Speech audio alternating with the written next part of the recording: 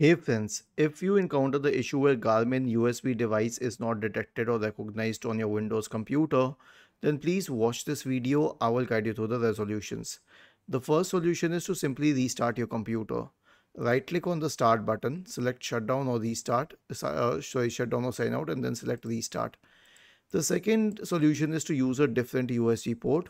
Simply plug it to a different USB port to solve your problem. The third solution is to update the USB drivers and I'll show you how this is done. Search for device manager in the Windows search bar and open device manager and then scroll down and uh, expand universal serial bus controllers. Right click on USB root hub and update the drivers. Okay. So you need to update all of these, not just one, all the root hub drivers. Then right click on the USB root hub driver, the first one, select properties, go to the power management tab and uncheck the checkbox associated with allow the computer to turn off this device to save power. Click on OK and do it for all the USB root hubs. This will solve your problem.